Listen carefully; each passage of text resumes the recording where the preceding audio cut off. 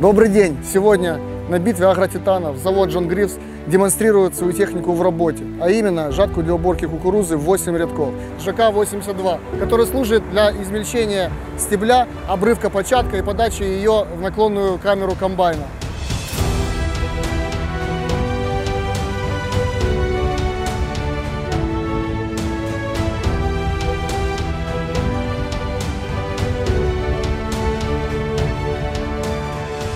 Благодаря применению алюминиевых редукторов и пластиковых делителей мы сделали жатку одной из самых легких в своем классе.